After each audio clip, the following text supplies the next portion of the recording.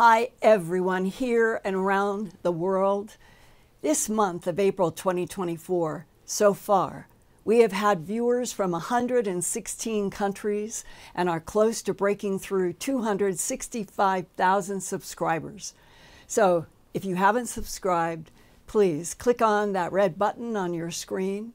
It doesn't cost you anything, but it helps us with YouTube. And in this ominous time of tactical nuclear missiles and drones flashing through Middle Eastern skies, I want to send all of you from all of us at Earthfiles, including Chocolate and Fluffy, a big agape hug with deep prayers that peace and protection will surround you wherever you are on this troubled planet. I reached out to a reliable aerospace source who has worked directly with Tall White and Nordic ETs to see if he thinks they are still trying to block human wars from getting bigger with nukes. And here is his reply quote, The tall whites are very human looking Nordics, are the two ET groups that I personally have had direct experience with. We humans are truly a blended bunch with them because we are their offspring of sorts. I do know for a fact that in the early stages around 1992, there was a program in place to train hand-picked military pilots to work alongside a small group of tall whites in craft and more advanced space vehicles serviced out of Whiteman Air Force Base southeast of Kansas City, Missouri. The blonde haired, blue eyed, Scandinavian looking Nordics do most of the policing and are more of a military type group. The Nordics work closely with JSOC, the Joint Special Operations Command based in MacDill Air Force Base in Florida and Fort Liberty in North Carolina. The Nordics provide a type of security over our deep space exploration and travel. But it's the 10 to 12 feet tall whites who are much more hands on technically and can even counteract when timelines are weaponized into different time frames by competitive forces. Close quote. Both ET groups, Nordics and Tall Whites, help us humans learn how to do deep space exploration on three Space Force ships the ETs have helped us build. The USS Curtis LeMay, the USS Hoyt Vandenberg, and the USS Roscoe Hillenkoetter. A certain number of tall whites and Nordics are always assigned to those human space missions to provide technical support and protection, close quote. And quote, they are always on our spacecraft for different programs before we humans try to make a space-time jump to a different time frame signature. The Nordics will make sure that the new time frame signature is not hostile, close quote. And now comes a new book posted at Amazon.com four months ago entitled Phantoms in the Night or ETs My Lifelong Experience of Contact with the Paranormal by Lorraine McAdams, who was born in December 1964 and raised in Lower Darwen, England, about 25 miles north of Manchester. Today, Lorraine lives with her husband further north in Cumbria, not far from the Irish Sea and southern Scotland. She worked as a nurse for 12 years, and then at age 45, she trained to become a teacher. Now, at age 59, she runs her own tuition company and finally, after years of suppressing her contacts with Nordic ETs, she has written and published, quote, my own simple, truthful, riveting, intriguing, and sometimes frightening account of multiple encounters and experiences with beings that I believe originate from other worlds and possibly other dimensions. Close quote, Lorraine McAdams, author, Phantoms in the Night, or ETs. This past weekend, on April 13th, Lorraine shared with me her illustration of two Nordic men who have been helping her in her Earth human life since age eight in 1974. That's when the Nordics placed on Lorraine's bedroom ceiling a screen in which the two Nordic men appeared and talked to her from the screen, as depicted here in this illustration by Lorraine and her illustrator, uh, Leif Martin.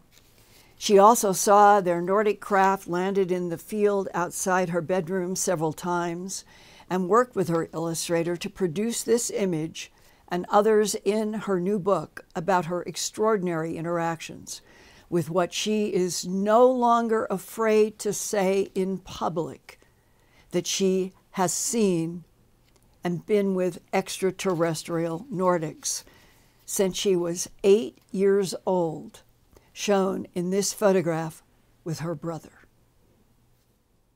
Between being born in 1966 and graduating from high school in 1982, when you think back at those years, what is the first year that you remember feeling that you were either being haunted or afraid or sensing something from people around you?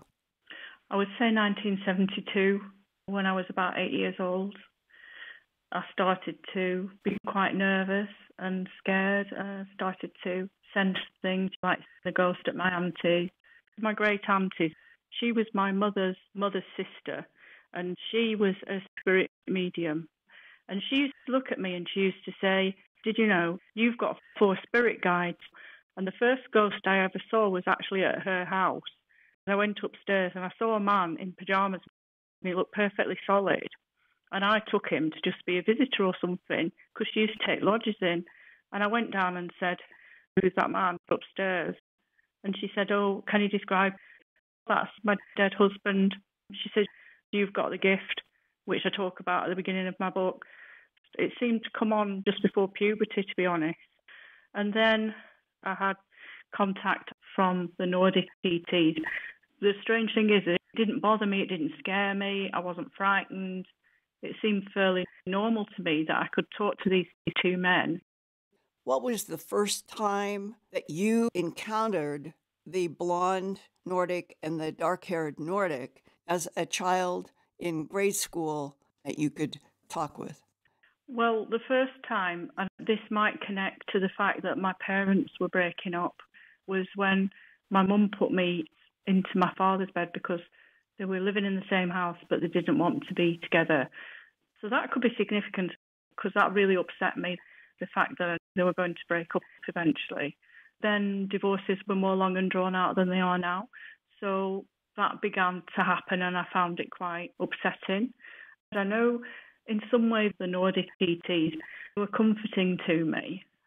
Did the two men that have been in your life since then as Nordic non humans to you, did they appear physically in your house, in the yard, or that strange screen that opened up in the ceiling of your bedroom? Just on the strange screen initially, and then shortly after, the blonde one, I had a really vivid dream of going into the field behind the house where the blonde was landed and he came down some steps and he came and greeted me and and that was the blonde one. How did it all happen that you would be going to bed? And what were the details of what was happening that you end up seeing on a screen above you? And you were born in 1966, so this would have been in the 1970s. Yes. How did this screen with Nordic ETs on it happen in your bedroom on the ceiling? I really don't know how it happened. The only thing I can think is that they were controlling me in some way not to be scared because I don't remember being frightened. I remember feeling unusually calm, if anything. And it just materialized like, if you will, today. Have you ever seen the cinema screens that you can get in your homes and they project onto a blank kind of white screen? So it was like that. The next minute, they were there. You know, it was instant, really. But you're talking about on the ceiling above your bed. You would have thought that in the 1970s, when nothing like that existed, that that would have scared you so much that you would have gone running to your parents. No, I didn't though, because I somehow, on some level, I feel that they were calming me down and almost like they were saying, you mustn't say anything about this. The fact that my father came in and he wasn't meant to and caught me, because he never really came in like that, made me realise there was something odd about this. It was almost like, and this has happened since, you know, throughout my life. I feel they can control, don't know how they do it, but I feel they can control your reactions and dull them down. Does that make sense? To D U L L, dull your reaction down yeah. to them. Yes, so that you don't flip out or whatever. I mean, when I've seen landed craft, a big craft hover over the field, and again I was unusually calm. And I comment on my book how calm I was, that I just looked at it and then went back to sleep. And what age would you have been at the first sighting in the field of one of these craft? It was 2008. So you had no interaction with craft before age 42? I didn't see them in real time. I saw them in very vivid dreams until I saw this one. You know, this was the first one, so to speak, that I saw in reality. Does that make sense? I'm looking at the four colored illustrations and I wondered if you could tell me upper left, upper right, lower left, lower right, using those directions.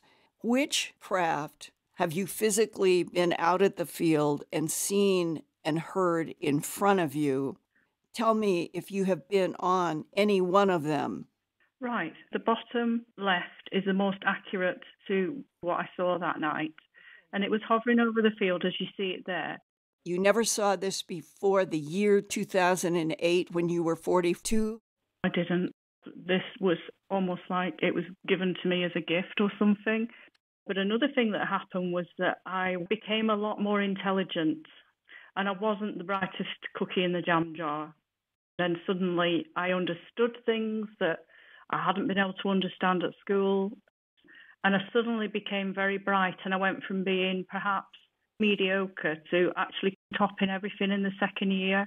And I got prizes for it, book prizes, and everything started to make sense to me in science and math. You were what age then? I was about 11 years old then. In that period of time between age six to age nine or 10, what specifically did the two male Nordics, one blonde and one brown haired, that appeared on a screen in your bedroom up on the ceiling, what were you mm-hmm. feeling that was coming off of them to you that you didn't feel from other people? I felt like they were protecting me in some way. I felt very protected by them, that somehow they were guarding me, that I was important to them, and I, I don't know why that would be, and that they sought contact with me throughout my life. It seems like you have been given a hint of what it is that the Nordics are involved with, which is genetic manipulation of life on this planet, and that they have been for eons, and that they would be interested in you and other people in the abduction syndrome because they are tracking bloodlines. I kind of worked that one out for myself. Is it because of my DNA?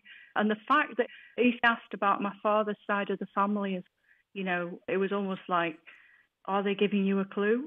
This is why we've taken you because I have kind of looked into this and I'm still reading about the fall of Atlantis and moved openly amongst us and intermarried with us at that time.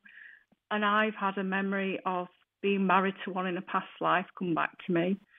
And I had red hair in that life, and I have red hair in this life. And my father has red hair and blue eyes. I have green eyes. But when Hyperborea fell, when Atlantis fell, a lot of them escaped. And I wonder if they're just tracing their bloodlines. Yeah. Exactly what you're saying. And we have this connection.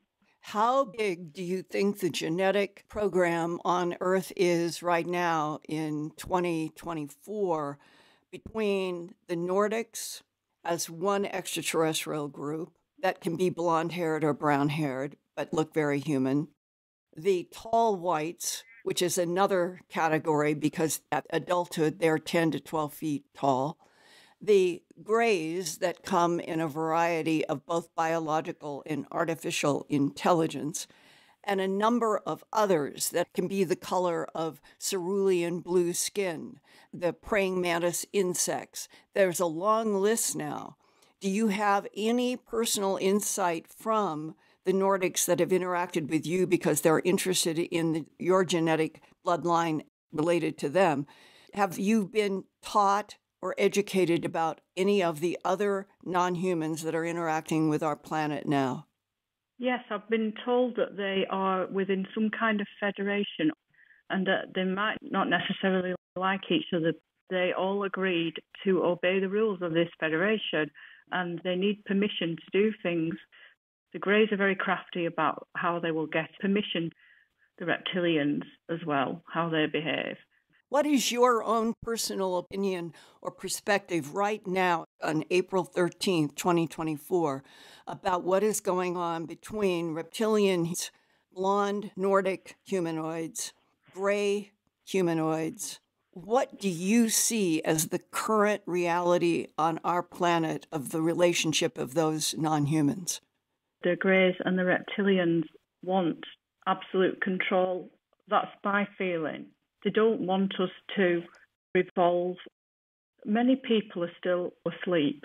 They are not aware at all of the background to any of this. They don't know what's going on. And I feel like the Greys want to raise our consciousness. The reptilians don't want us to evolve or raise our consciousness at all and want to keep us down. But I feel the Nordics, the ones that are friendly towards us at least, have added their DNA to the human genome. Mm-hmm. I feel the Nordics want us to evolve spiritually. They want us to reach a higher consciousness. And there's a war going on currently where the Nordics trying to free us, the reptilians trying to prevent it.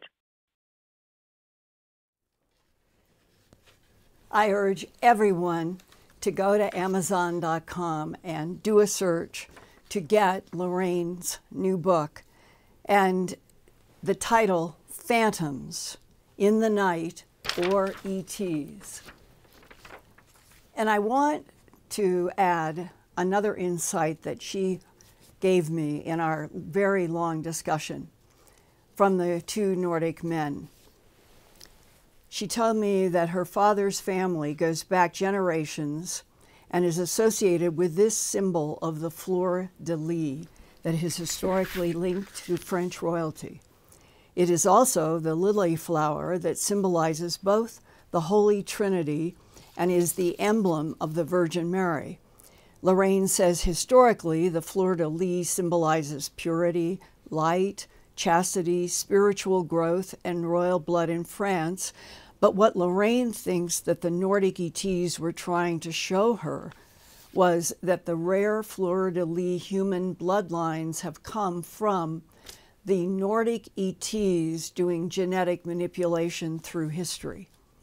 And I asked Lorraine if the Nordic ETs and gray ETs have superior technology, while the tall whites are supposed to have perhaps the most advanced technologies why would this conflict between reptiles on the earth and all these other ET species go on for centuries? Why wouldn't the reptiles be able to be chased out of Earth by the advanced technologies of the Nordics and the tall whites? And Lorraine answered, That's a good question. I suspect it is tied to what the different ETs in the Federation are given permission to do. The rules are supposed to be very complex about what each species can and cannot do to each other. But I think that the general consensus among the Nordic ETs is that everything is getting beyond the pale now, too dangerous. Further, she said, I've been told that we humans have the technology to stop nuclear bombs from even going off so that they will land harmlessly in the sea. And that technology will be deployed if necessary. Some people will just completely panic and have no clue. So I think the first thing that needs to happen is people need to be waked up to the fact that this has been happening for a long time and is happening now. It is incredible that it has remained separated from most of the human population, including myself and Lorraine and other contactees. Why has the truth of other life in this universe been so successfully hidden? Continuing with Lorraine, I have been shown that we will see more craft in Earth skies, she told me, which will be Nordics returning to their ancient bases on Earth. Many of their ancient bases are under the Atlantic Ocean, so those sightings will be what the government calls USOs, unidentified submerged objects. And the reason for the Nordic return to ancient Earth bases will be to defend the Earth literally, according to Lorraine. The blonde and brown haired Nordics gave me the analogy, she said, of a boil being lanced in all these current conflicts and wars. We are in a kind of scenario where something dramatic is going to happen, definitely. But she says they don't want to make the mistake, as I feel that they have done in the past, of taking over completely to govern us. They want us humans to govern ourselves correctly, properly, not in the way we currently are, with all the political divisions and wars. Close quote. And I want to urge all of you go to Amazon, do a search on Lorraine McAdams and her book that I think is going to be valuable for everyone. And that it is interesting to me how her insights have been evolving and evolving into this book and to this time when I think all of you, I certainly do, feel that we are in very dangerous ground, dangerous frequencies. And I wonder, Ian and Eric, I wonder if we could do a poll now at the Earthfiles YouTube channel on how many of you agree with Lorraine McAdams and what we have shared here tonight from her experiences with Blonde Nordics and this new book that is extremely valuable in content. How many people responded inside mentally, spiritually, any other way to the words that she spoke tonight? And with that, Ian, welcome to a sense of doing a show that feels honest to me about the frequencies that everyone is beginning to be, I think, very concerned about on our planet. Knowing that if Lorraine and others are correct, we are going to have help, even if we don't understand it yet.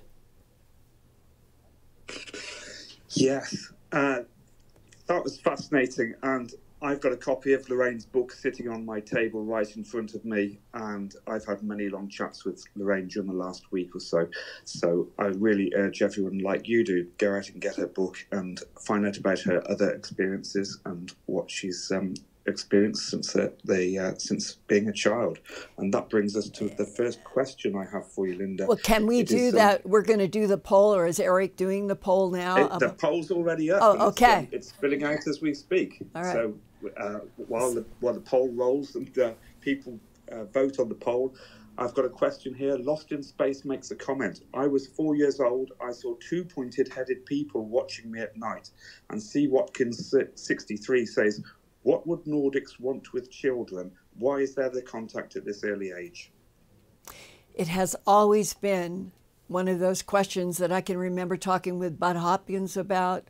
Uh, uh, that people were very upset in long ago when I was just getting into uh, 79 and 80, uh, trying to understand animal mutilations and learning about abductions and the idea that there would be other intelligences from other planets who were focused on taking children uh, at young ages and teenage years was uh, something of, of concern. And when you put it into the context of the last, from let's say, start going all the way back into uh, the 1960s up to 2024, uh, the human abduction syndrome has been being discussed uh, ever since then, and the important case that was on television of Betty and Barney Hill. That goes back into the 1960s and was the most important and well done, I think, television production trying to deal with the abduction question. And it was Betty, who did not have any real trauma, and her husband was the one who had the trauma, uh, she found that she could communicate with the beings, and th- they had this discussion about the three dimensional uh, space, looking at our end of the uh, particular solar system that we're in, and where there was in a 3D holographic. Um, I don't know whether to say it was a projector. Betty didn't know, but she was looking into a 3D uh, recreation of our part of the uh, Milky Way galaxy, where there's this solar system and their solar system and others. And that she did not feel threatened. She felt, in fact, that this particular type, which was somewhere in the category of a gray, um, that they were interested in what she had to say or react to what they were showing her. And as she said, when I said, Well, where are we on there? And there was an answer, If you don't know where you are, how could I possibly show you? Um, and that the the, that, that underscored that at least adult humans could telepathically have a conversation about things astronomical.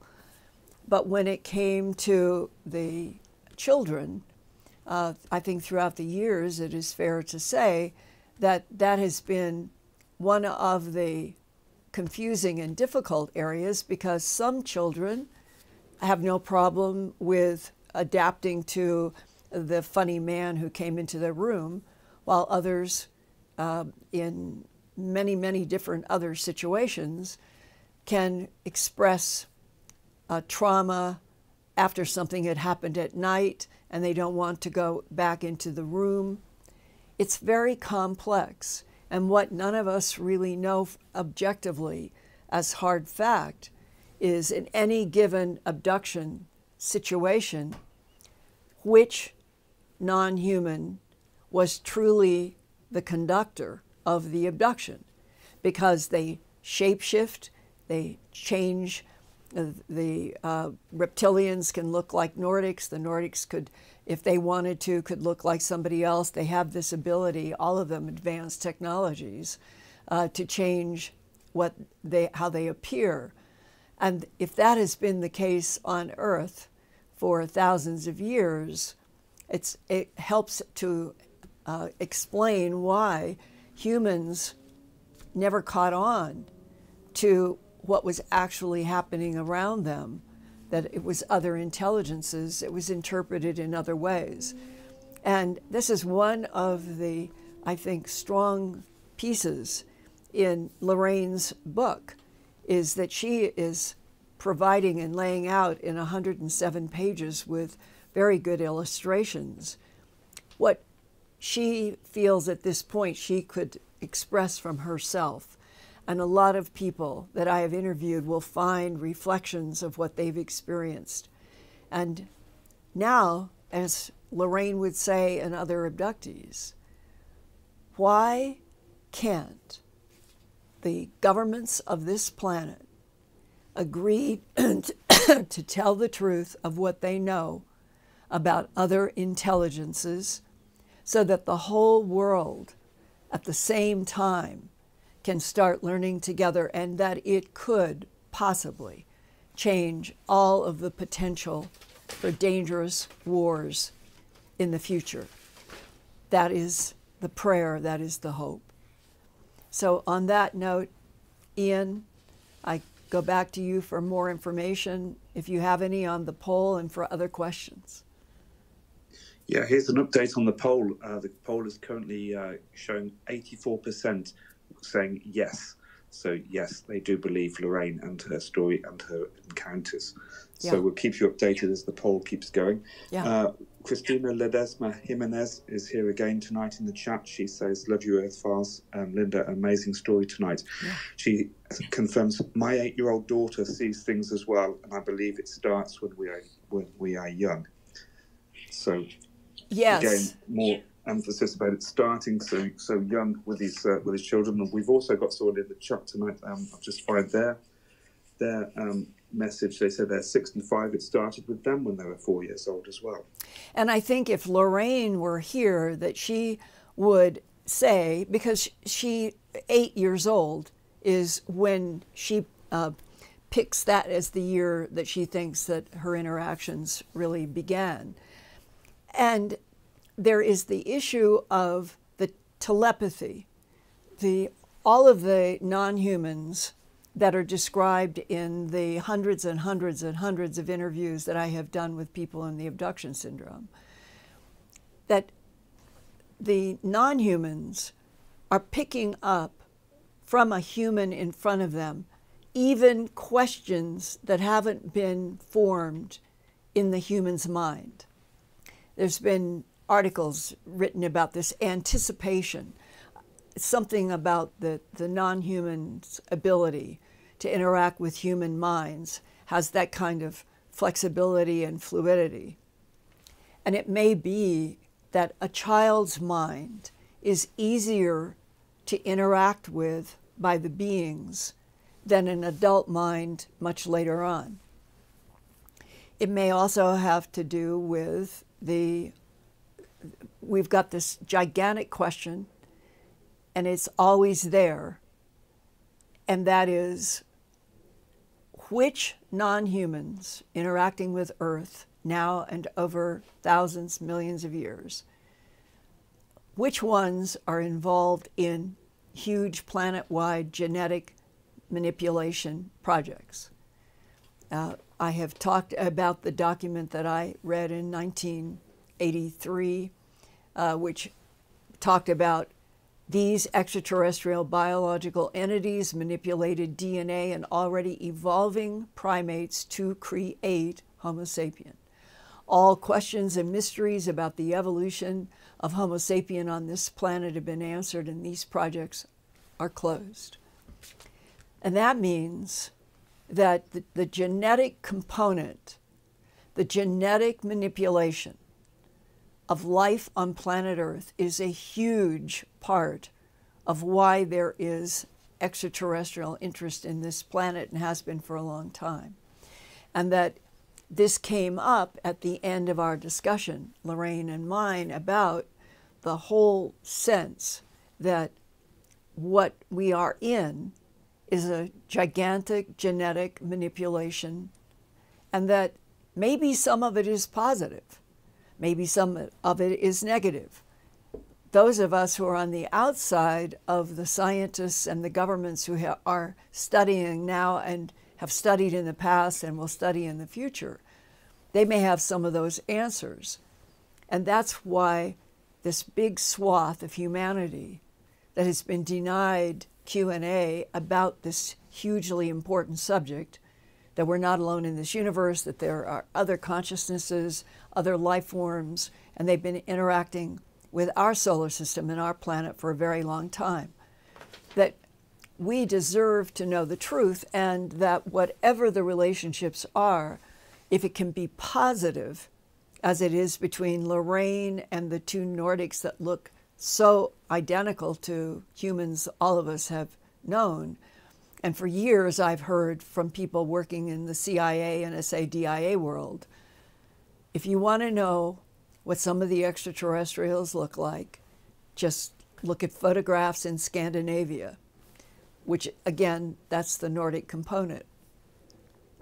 But I also received about three years ago a very interesting, uh, we'll just say it was a series of notes from somebody who was working in aerospace who had been able to work with one of the tall whites. And the whole paper was that we, we think, we humans, we like to sit down, we like to have coffee or wine or whatever it is. We like to talk, we like the energy, the interaction of being able to talk, and we're noisy, and, and that's humanity. Well, these other beings that it's silent, it's telepathy, images, films going out here, anticipating everything that we noisy humans are going to think of. It's like sort of out of sync, uh, life forms that would be out of sync and would have to learn how, if they wanted to, to be somewhat in sync. Maybe that's not possible.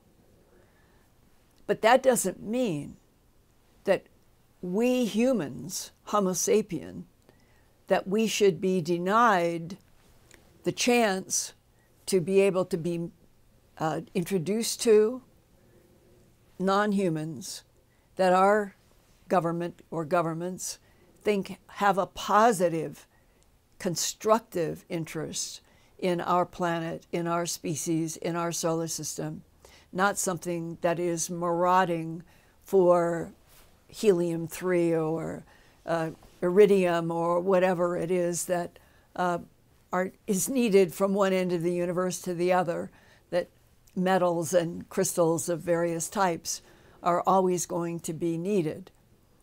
And it, where we are right now, on April 17th, 2024, is in this no man's land of no one really having all the evidentiary material that our government has and other governments have. And we are left in a waiting where who is finally going to step up to the plate and explain to humanity that we are a genetically manipulated species, that there are beings who do care about what happens to us, and there are others that may not. And that somewhere, just like Earth, as on Earth, below as above, that there is confusion, there is conflict, there is destruction, there are wars, and then there are others who are trying very hard to get rid of war, get rid of conflict, neutralize into the evolutionary path of the soul learning how to grow in all of these different contexts.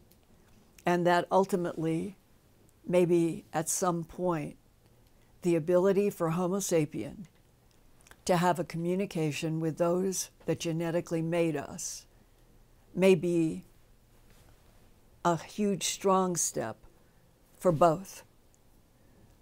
That maybe what is lacking in this universe is black versus white, with very little communication between the different frequencies, the different levels, and that this is part of why this universe was created. Well, maybe if humans step up and say, we need to understand more. We can't be afraid. We have got to learn more from governments, scientists, medical people, everybody. Because if we're going to go out to Mars, if we're going to go out beyond into our own solar system, if we're going to go to other solar systems, is Earth going to be represented by one half of 1% of the population? Or are we going to finally be allowed to know the truth, the whole truth, and nothing but the truth, which once upon a time, in a poem and in a song, said, That will set us free. Okay, Ian. Yeah, Linda, that, that's well said. We've got people in the chat, such as Miss Anonymous 617 says they want us to evolve, but humans refuse to evolve. And I can't explain also addresses the many, the most most complex of the uh, of this phenomena. That is that the problem with all these beings is that there are different factions even within their own species. Uh, so yes. a lot of good chat about this subject in our in our live chat tonight, where we provide a safe space for people to share their experiences. We've even got people with experiences sharing their experiences yeah. tonight, and uh, I'm Ian, just going to Ian, just going ju- to go into our hello. Ian, I just picked up dear chocolate, and I know that a lot of people out there are laughing because he loves to jump up here and wave his tail around, and I picked him up and he is docile, he is wonderful, he is loving, he is passive. And I'm going to let him go in the freedom of what we're talking about tonight, that we shouldn't all be tied up for preconceived reasons, and let him walk around, and hopefully he won't always have his tail up. But I did this for a reason.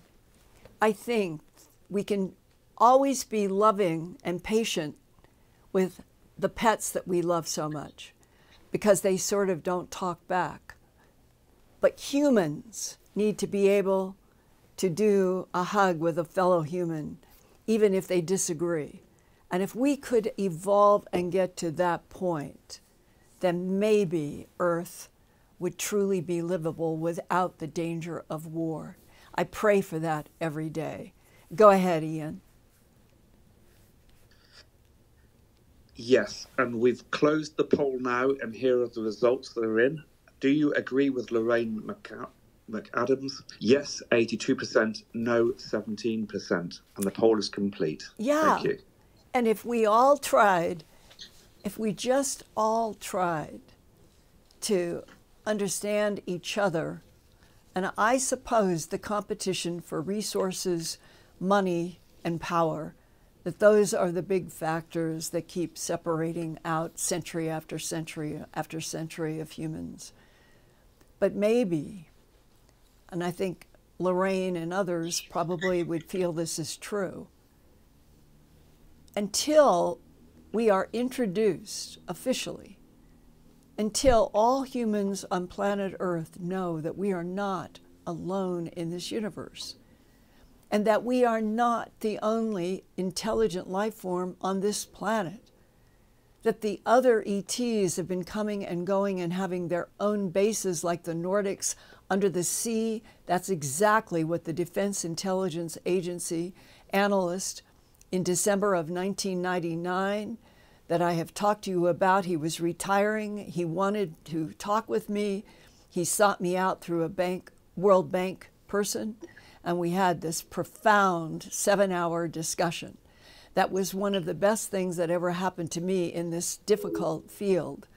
And that included his telling me that the Nordics, the blonde haired, blue eyed, that what they liked to do was to go down below the basins of the oceans and the seas of Earth, and that they had very large uh, bases in huge caverns not at the bottom in the water. You go through the bottom of all the oceans, all of the bays, all of the seas, and you would come into bases that were built and operated by the Nordics, and that the different non humans have different places on Earth where they have bases. It makes so much sense. It's just that that's technology that we humans don't have and would not understand uh, how to do unless we start collaborating with non humans, which, remember, Luis Elizondo talked about USOs. And it's clear that our government, even if they don't say it, our government has known for a very long time that there are non humans who have bases inside of mountains, deep under the ocean floors, uh, all over this planet. And and that is another evolutionary point where we're going to have to learn how to have that information and live on a planet where there are other advanced intelligences that come and go. Go ahead, Ian.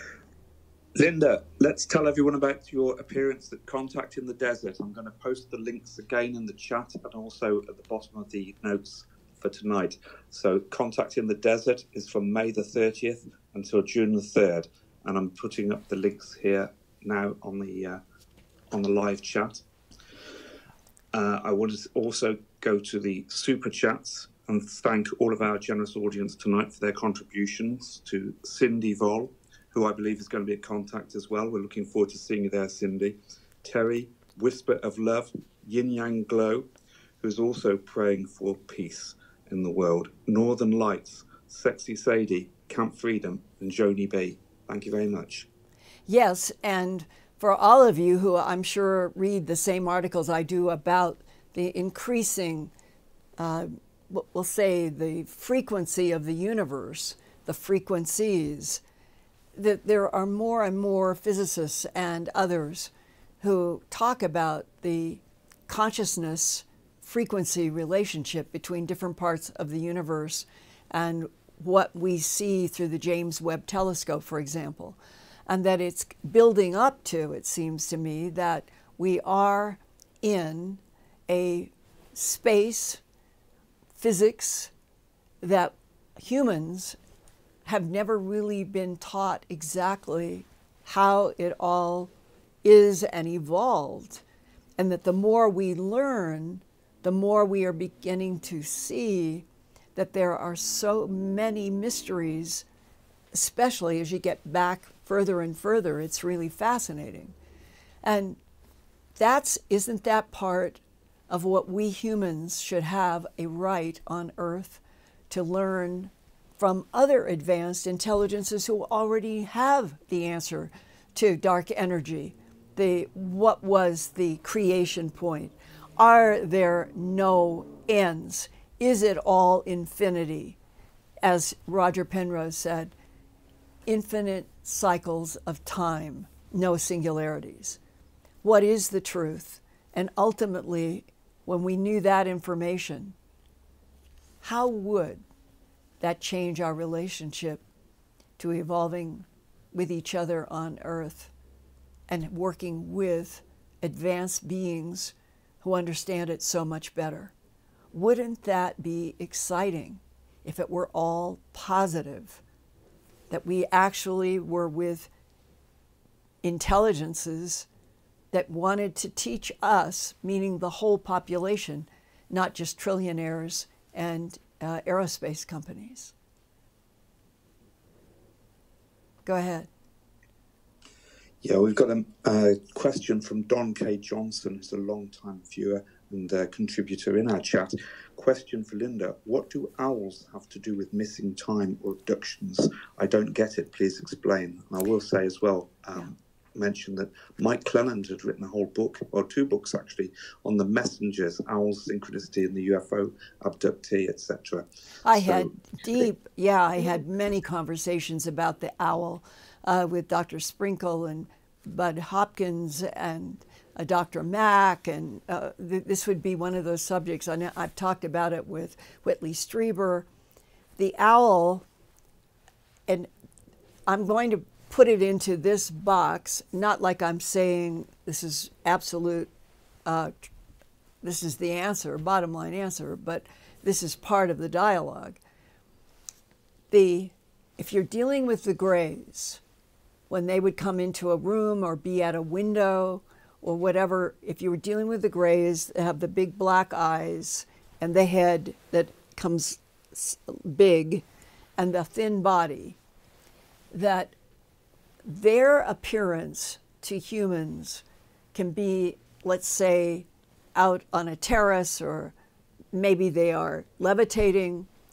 And it became associated with the idea that they look like an owl or that the beings were projecting a technology over themselves that was a technology of sh- shape shifting, they can either put a physical coating, a subatomic coating, in those uh, leotard like suits that most of them wear, and that if they know what they're doing, they will change the subatomic surface of how they appear to someone.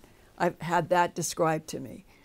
Uh, then there is the manipulation of the human that most of the beings can put in our minds because they work in telepathy an image so that they would be cloaking themselves to the person in whatever way, and that the owl, throughout decades, the owl has been one of the most common in which people have said, it, at first it looked like an owl, or I thought it was an owl that landed on the wall, or th- that kind of approach. And then it'll get more complex. And then the, the human will begin to second guess themselves. Is that really an owl? And there lies this complex landscape that people in the abduction syndrome have always been with, that what they were shown as interacting with them may not be the actual being that is doing the projection or the shape shifting. And that's been another level of complexity. Why that is done is not exactly clear, but I would say that is fair over hundreds and hundreds of years that at least the material that has been written or even that we find maybe carved in a stone wall of what looked like uh, something with large eyes, and it's uh, over six or seven hundred years old, and uh, people going in and looking for ancient places and sites and find even things that look like craft. That was the being, does it look like what is carved, or was that what was being put into the mind of the human? And that is what makes this field more difficult and harder to understand, is because the non humans can disguise themselves or present themselves to us in the form of an owl or a bird or whatever. And one of the, I would say, evolutionary steps eventually, I hope, will be that we will finally be on a planet where there will be universities that take uh, as far back as we can go up to the present of all of the evolutionary influences on humans by non humans for so long. And where we are today and how we get past this point of confusion, conflict, war, that that's where the rubber hits the road right now. Go ahead, Ian. I want to remind people that this edition of Earthfiles and all editions of Earthfiles is also available as a podcast wherever you get your podcasts yeah. from, and remind people to like us and subscribe. It all helps. And that they turn around every Thursday, right? We do live Wednesdays, and then the podcasts turn around on Thursdays, right? Yeah, I believe so. The the new podcast yeah. goes out uh, yeah. straight away afterwards. I think on the Thursday as Earthfiles uh, rolls out across the, the earth. DJ Fulcrum is in the chat tonight and says uh, seems to have a similar experience to Lorraine's, um, which says of con- contacting you in dreams. I had dreamt twice, and I've never before that the saucer and the being was standing and looking far beyond my being. So a lot of people again putting this down to vivid dreams, but these vivid dreams are probably relating to real experiences. I think then the question is does anybody know how, what percentage of human descriptions of being waked up suddenly, seeing a shadow, or seeing a beam of light, or seeing orbs of light? Orbs of light that are about the size of a ping pong ball are very common at the beginning of some abduction cases. Why the differences? But that is, to me, why I love doing the work I do, because I feel with every month and every year that we keep going, that more and more is coming out that would be in the category of learning learning more about ourselves as well as this universe. So I'm being overcome. I think it's Juniper. Brad and I both, our eyes are red. We've been taking allergy pills, but there's a big juniper tree here. So sorry. Go ahead. I'll go a, couple more because we started a tiny bit late.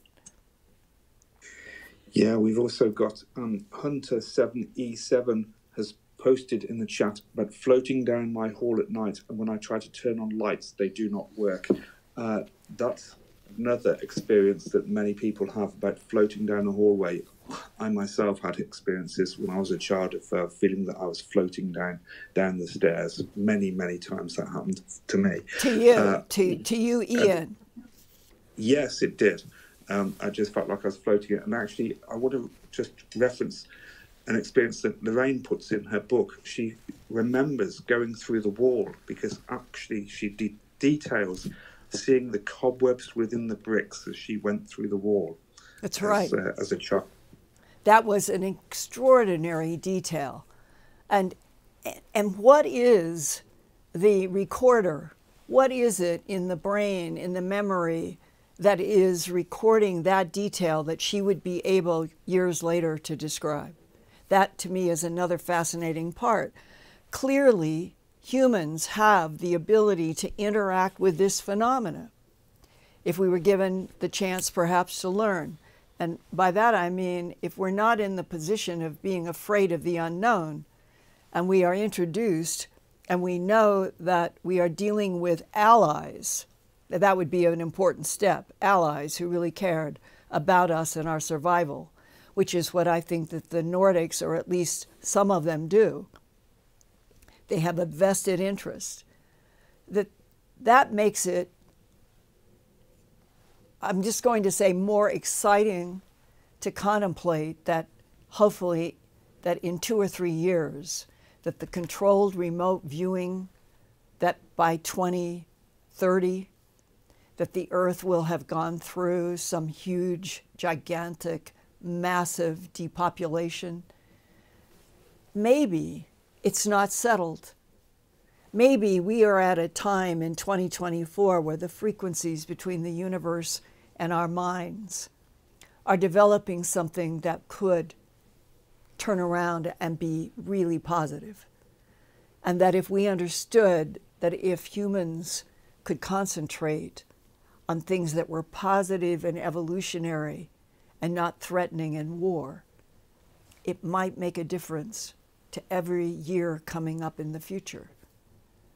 And then that would mean that we were being educated about how to strengthen ourselves and our souls in a universe that does seem to have a tremendous challenge about how to interact with it without going extinct.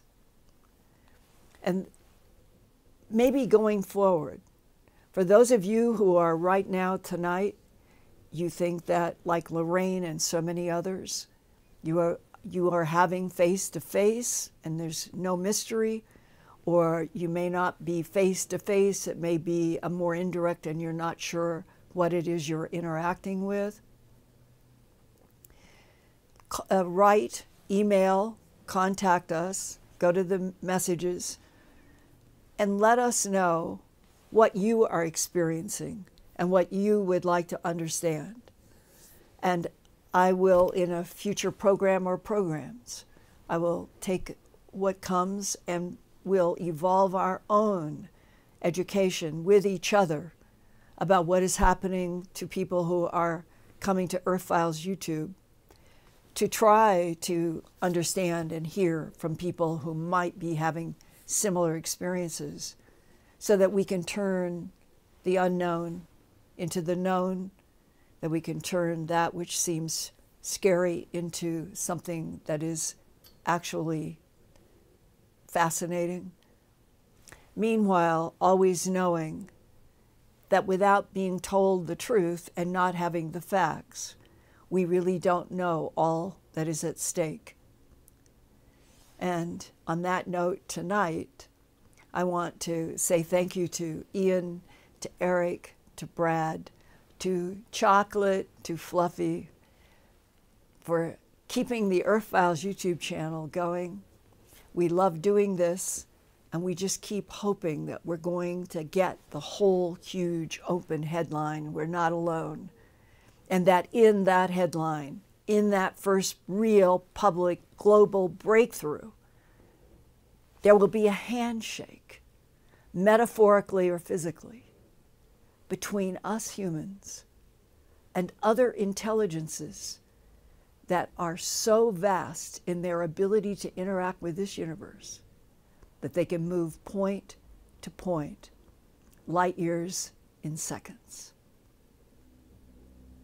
On that note, a kind of exciting note, let's hope going forward that next week, no more war, no more conflict. And I know people will smile at that. But that's my wish. I love you guys.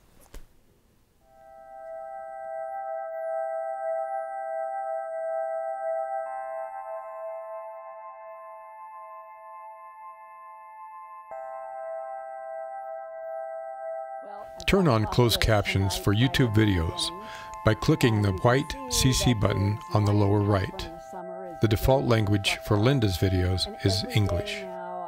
If you would like to see the captions in another language, click on the white Settings button next to the CC button. Select Subtitles CC and then select Auto Translate. Select a language and the captions will now appear in that language sort of gone through and they will hold their heads. I never had a cat do that before. And they'll pull against the comb, helping me get out snarls. And I think it's the best they've ever been.